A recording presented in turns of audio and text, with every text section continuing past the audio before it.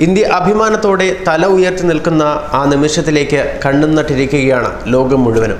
ചരിത്രം കുറിക്കാൻ ഇന്ത്യയുടെ രണ്ടാം ചാന്ദ്ര ദൗത്യമായ ചന്ദ്രയാൻ രണ്ട് ഇന്ന് ചന്ദ്രന്റെ ഭ്രമണപഥത്തിൽ പ്രവേശിക്കും.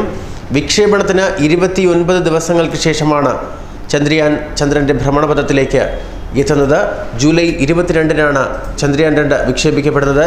രാവിലെ ഒൻപത് മുപ്പതോടെയായിരിക്കും ചന്ദ്രയാൻ രണ്ട് ചന്ദ്രന്റെ ഭ്രമണപഥത്തിൽ എത്തുക എന്നാണ് കണക്ക് കൂട്ടുന്നത്.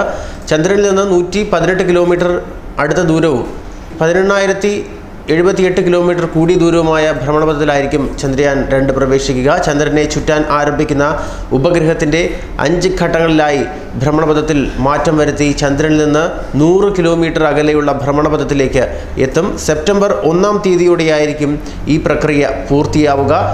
സെപ്റ്റംബർ രണ്ടിന് ചന്ദ്രയാനിലെ വിക്രം ലാൻഡറും ചന്ദ്രയാൻ രണ്ട് ഓർബിറ്ററും വേർപെടും. ഓർബിറ്റർ ഈ ഭ്രമണപഥത്തിൽ ഒരു വർഷം തുടർന്ന് ചന്ദ്രനെ നിരീക്ഷിക്കും. സെപ്റ്റംബർ ഏഴിനായിരിക്കും അതിനിർണായകമായ ലൂണാർ സോഫ്റ്റ് ലാൻഡിംഗ് നടക്കുക. സെപ്റ്റംബർ ഏഴിന് പുലർച്ചെ ഒന്ന് മുപ്പതിനും രണ്ട് മുപ്പതിനും ഇടയിലായിരിക്കും വിക്രം ലാൻഡർ ചന്ദ്രനിൽ സോഫ്റ്റ് ലാൻഡിംഗ് നടത്തുകയെന്നാണ് പ്രതീക്ഷിക്കുന്നത്.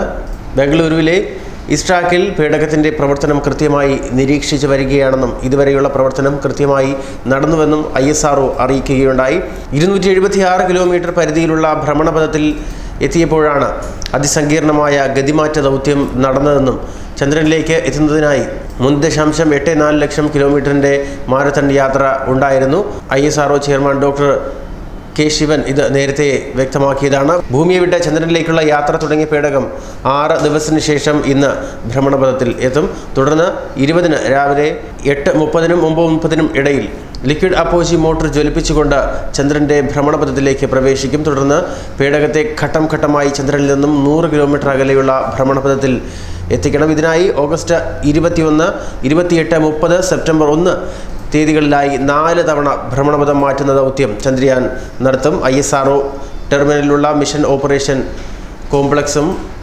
ട്രാക്കിംഗ് ആൻഡ് കമാൻഡ് നെറ്റ്വർക്കുമാണ് പേടകത്തെ നിയന്ത്രിക്കുന്നത്. ബംഗളൂരുവിനടുത്തുള്ള ഇന്ത്യൻ ഡീപ് സ്പേസ് നെറ്റ്വർക്കിൽ നിന്നാണ് ആവശ്യമായ നിർദ്ദേശങ്ങൾ നൽകുന്നത്. ഭൂമിയുടെ ഭ്രമണപഥത്തിൽ ഇരുപത്തിമൂന്ന് ദിവസം ചുറ്റിയ ശേഷമാണ് ചന്ദ്രന്റെ ഭ്രമണപഥം ലക്ഷ്യമാക്കി പേടകം യാത്ര തുടങ്ങിയത്.